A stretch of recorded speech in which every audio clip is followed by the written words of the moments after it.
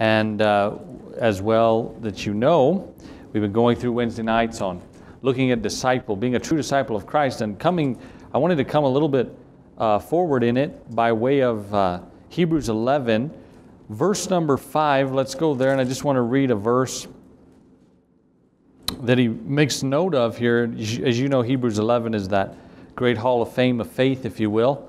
By faith, Enoch was translated that he should not see death, but was not found because God had translated him.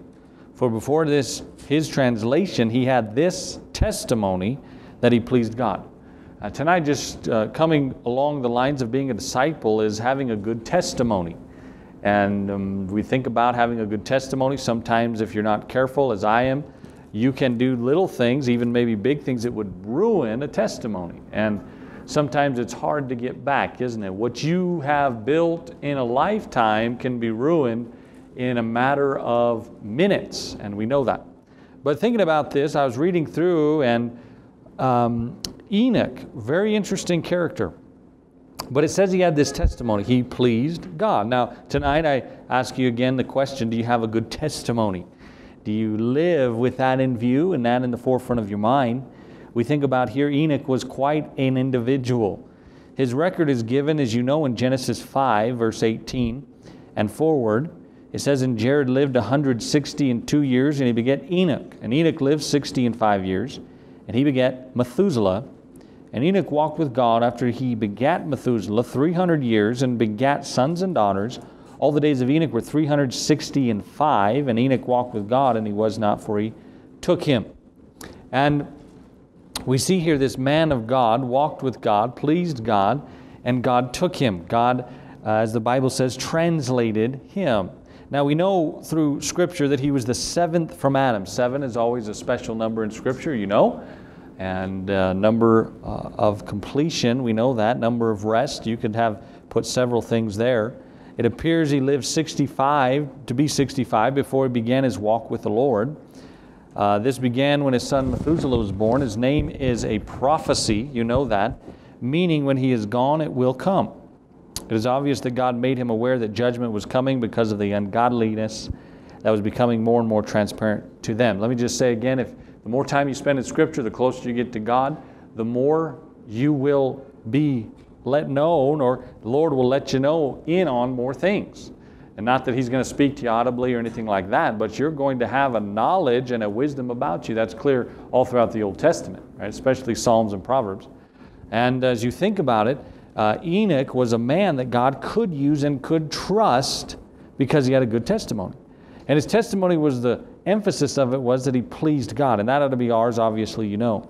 Now we know Jude also tells us that he was a prophet. Jude 1, verse 14, and Enoch also, the seventh from Adam, prophesied of these things, or of these, excuse me, saying, Behold, the Lord cometh with ten thousand of his saints to execute judgment upon all, and to convince all that are ungodly among them of all their ungodly deeds, which they have ungodly committed, and of all their hard speeches which ungodly sinners have spoken against him. So he was obviously a prophet. He was obviously a preacher. Now, we think about that. We know other preachers throughout the Old Testament. We know Noah was a preacher. He's a preacher of righteousness, Peter says, right? We know Moses obviously was a preacher. These men preached the word of God to those around them and encouraged others. You know that. And we see now, because he walked with God, he had a tremendous insight into what was going on around him. As I just said, you'll have a tremendous insight upon what's going on around you, right? I've said it before, but when you are in the Word of God, you develop what's called discernment. discernment about the Word, discernment about the will of God, discernment, discernment about the work of God in your life. You don't throw your hands up and say, Oh, God, why does this happen to me again? Good night. Can I catch a break here? No, you go, Lord, I don't understand it, but I know you're at work. Why? Because I have discernment that comes from the Word, Hebrews 4.12. Now, we see here he has a tremendous insight into what was going on around him. He knew what was coming, he knew what would take place. And we see throughout Scripture those individuals that had that insight were close to God, to the Word of God. Now, he had this testimony. His testimony was simple yet profound. Notice that. Some people say, well, what's your testimony? Keep your testimony. It could be a long drawn out thing, but for him it was very simple. He pleased God. He pleased God. Underline that in your Bibles and Memorize that especially, that he pleased God. Now we know Jesus Christ had the same testimony. It says, as Jesus spoke to those around him, he said, I do always those things that please the Father. I don't please self, right? Kids, you ought to be pleasing mom and dad, right? You ought to be looking for that. Can I, how, what can I do to help, mom, dad? And don't do it so they can pat you on the back and say, Well, thank you so much. No, you do it because why? It's the thing to do. God's commanded it. And again, as we go up in authority, you know that. We're pleasing God, we're pleasing who He's put into our lives. The word translated testimony means to be a witness, a test, to testify, both literally and figuratively, to bear record, to have a good, honest report, well reported up. So, as we think about our testimony tonight, as being a disciple of Christ, are you a disciple tonight? I know you are. Are you a disciple? Have you crucified flesh? Have you taken up your cross? Have you followed Him? And not this fluffy stuff that we have today, but have you crucified? I just heard recently a testimony of one of the most popular Christian singers today. Beautiful voice, very popular. But they asked her directly, What do you believe, or what do you believe about Christ in essence, really? What do you believe about Jesus? She couldn't, she fumbled out a few words, couldn't explain anything. Well, I, I don't, I, uh, he's, uh, you know. That's not a Christian testimony. That's not somebody we would look to, to have our kids listen to good night. And I think about that. That's so much of today, just the fluffiness, so much of that stuff. Nothing there of solid, nothing there to grasp, to be rooted and grounded. They don't know what they believe. And we got to be thinking about that. Do we have a good testimony tonight? You know the old Ch- Chinese proverb. It says, Your talk talks, your walk talks, but your talk, walk talks louder than your talk talks. And when a person is you think about mention in Scripture, there's always something that comes to mind. You think about Jezebel. I say the name Jezebel. Uh, I, we saw one time a lady was picking it, it was on the news. She picked a name for her daughter, Jezebel. You know, she had no idea what it meant. You know, and everyone's going, no, no. You know, there's a testimony involved connected to her. You think about it. You know, Judas Iscariot. You think, wow. Immediately, you think of a testimony. Moses, Lot, Paul, Hitler. Uh, you go down the line. People, you think of a testimony. What kind of testimony do we have? Now, first of all, good testimony, notice, is very important, obviously, because we're showing people what Jesus Christ is like. The average person today will not and does not have any desire to pick up the Bible and read it. But they do look at you and look at me, don't they, and say, What do you believe? The, they read you, obviously, more than they do the Word of God. And we are showing people what Jesus Christ is like. Uh, 1 Peter 2, verse 12, having your conversation honest among the Gentiles, your lifestyle. Whereas they speak against you as evildoers, they may by your good works, which they shall behold, glorify God in the day of visitation. And you think about it, by your good works, by your lifestyle, by what you do, by what you say, by where you go, all of that, right? We know obviously showing people what Jesus Christ is like. Who is he? Well, let me show you. Let me show you. Because we are influencing other believers. Now, again, you got to go through your Bibles, and I ought to go through my Bible as well and look at the characteristics of Jesus Christ. It's not difficult, hard to figure out. He was a man, we know one, but he also was God manifested in the flesh. He had certain characteristics. He did things, as he said himself, leaving us an example not over our heads or our abilities, but things we can do, things we can follow. We're influencing other believers. Uh, Romans 14, 13, let us not therefore judge one another anymore, but judge this rather, that no man put a stumbling block or an occasion to fall in his brother's way. We're influencing other people. We're helping other people. It's very, very important. Enoch knew this, and he began his walk with God, obviously a tremendous walk with God, and we see here the influence that had on his family down the line, didn't it? And later would come that man by the name of Noah. Thank God Noah had a good heritage. He had a good family. He had all of that. And he knew it. And he stayed true in the midst of a wicked, the Bible says, and perverse nation or generation. Uh, secondly, a good testimony is very fragile. It's very fragile. It's our most valuable possession as you think about it. We keep that, we hold it, but it can be perishable. Our salvation is the most valuable thing we possess. We know that. Thank the Lord for that. But we cannot lose our salvation, but we can lose, you know, in a few careless moments, what you've worked for for years and decades to build. It only takes one foolish act, one thankful, a hateful thing, as you think. Very carefully. We think about David. I mentioned on Sunday, David again. David was, he had a near perfect record, didn't he? Perfect record. Not once do we read in Scripture that he was disobedient. Not once do we read that he was un, ungodly. He used foul language. He didn't. He wasn't promiscuous. None of that. Until that one incident, wasn't it? One thing, and he ruined it. One little issue. And it's brought up repeatedly, as you know, in the Old Testament several times. And the Lord Himself says on at least two occasions, He says, except in the matter of dot, dot, dot, right? David was good. He was right. He's a man after my own heart, except in the matter of. Now, a good testimony is very fragile. Uh, we think about by abstaining from fleshly lusts, obviously, we keep our testimony. 1 Peter 2.11, Dearly beloved, I beseech you as strangers and pilgrims, abstain from fleshly lusts, which war against the soul. The soul. Being very careful about that. Your soul, as I said again Sunday, needs to be happy. That's your emotions, intellect, and will. It's the control center of your heart, of your body. We have that which is physical, the body, but the soul. So we are. Personality, all of that. We to guard our soul. It's a proverb says. Keep our hearts with all diligence, for out of it are the issues of life, right? Be cautious and careful about that. Abstain from all appearance of evil. Abstain from it. And be careful. Uh, careful guarding our, uh, not only our lives, but our tongues, our, the way we affect. We the Bible uses the word conversation. We interact with other people. We know that. So we cautious and careful. Enoch said, I'd rather please God than please man and please those around me. As Paul later says, be latter days there will be those that come are men pleasers, men pleasers. But notice then thirdly here, a good testimony is that he pleased God. That's what I want to hit on here. Enoch, he had a pleasure in pleasing God. He wanted to do that. It was very simple. Now, as we think a moment about our testimony, we desire certain things in life. We like things a certain way. We're looking for fulfillment, satisfaction, and all of that.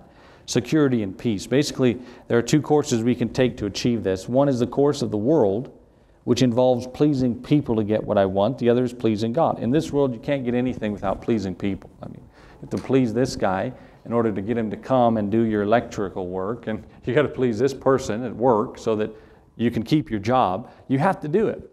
But you think about it, we have to put God on top and please Him. Prioritize God in your life. You know that.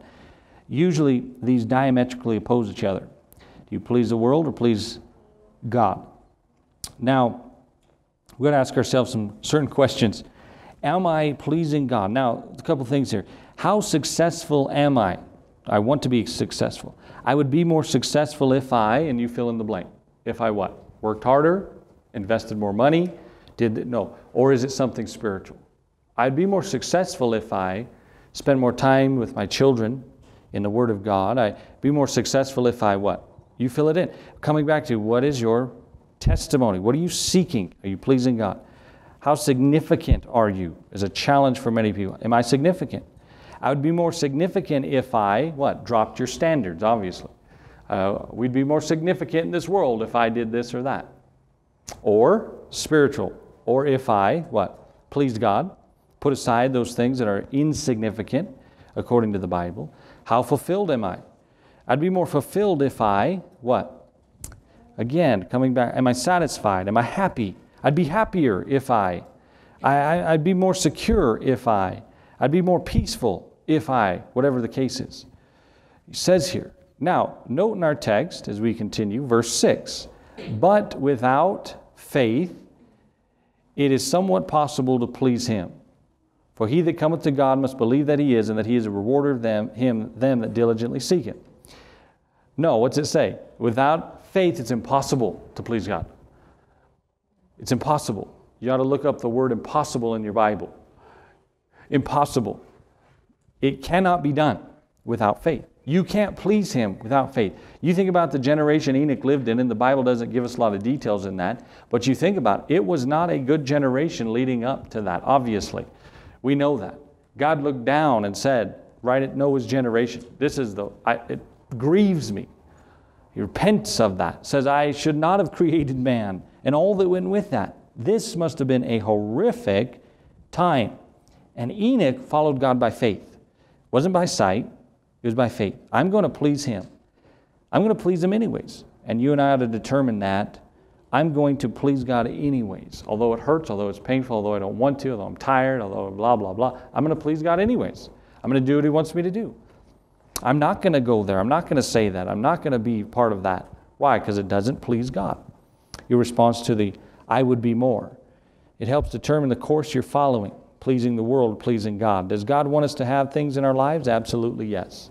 That's clear today. We're blessed beyond measure. Beyond measure.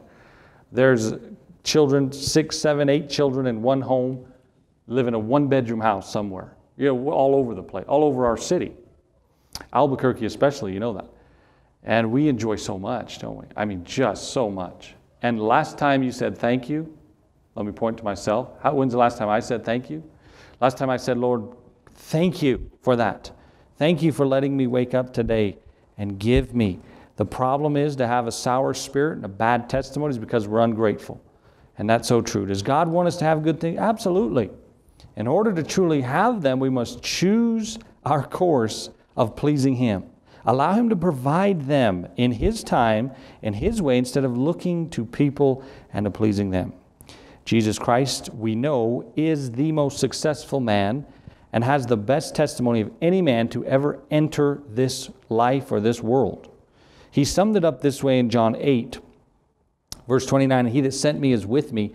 The Father hath not left me alone, for I do always those things that please him.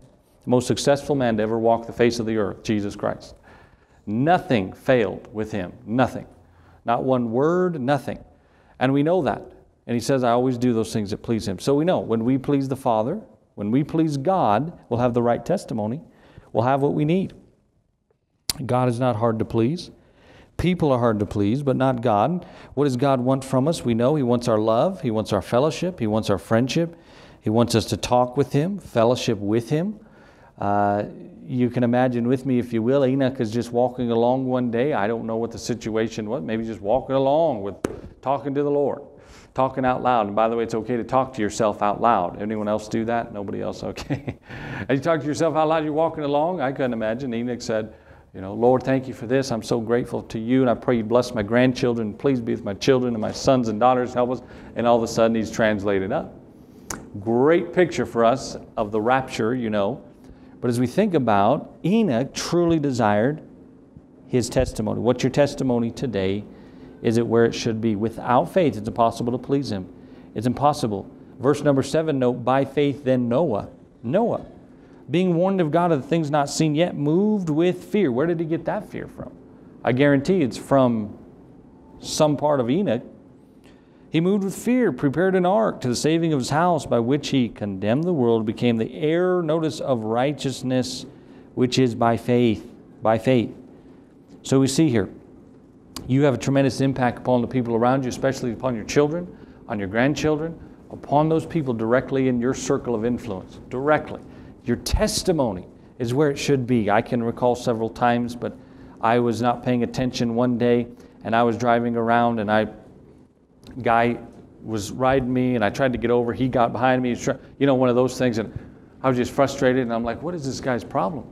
And he's doing all kinds of gestures at me, you know. And I was, so I'm going, I don't know what's going on. And it hit me right in that moment. Testimony.